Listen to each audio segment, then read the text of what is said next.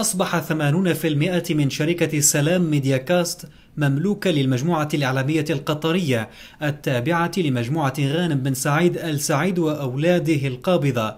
في صفقة تؤكد توسع الاستثمارات الإعلامية في المنطقة وتشير إلى بداية تحولات كبيرة في هذا القطاع. إحنا شفنا أن مجال ميديا مجال واعد جدا ونامي بشكل كبير. ومن عادتنا أن إحنا بدل ما نبدأ من الصفر نبدأ مع شركاء استراتيجيين يكونوا موجودين في السوق عندهم رؤية عندهم وضوح في أهدافهم لهم زبائنهم. ونعتقد إن إحنا بمشاركتنا لهم هم بيضيفون لنا النو هاو والمعرفة والسوق وإحنا نضيف لهم بعد جغرافي.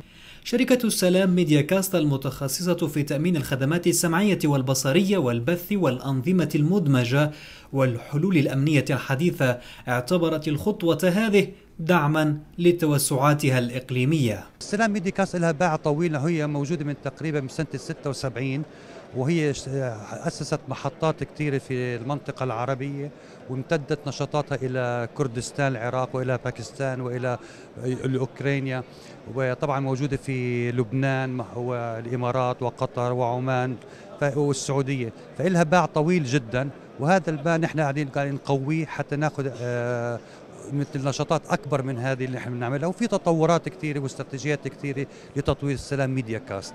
صفقات من هذا النوع برأي خبراء تبين أن قطاع الإعلام بدأ يرسم ملامح جديدة لاستثماراته في ظل توجه بعض الدول لتعزيز مكانتها في هذا المجال الحيوي الذي غير خارطة العالم.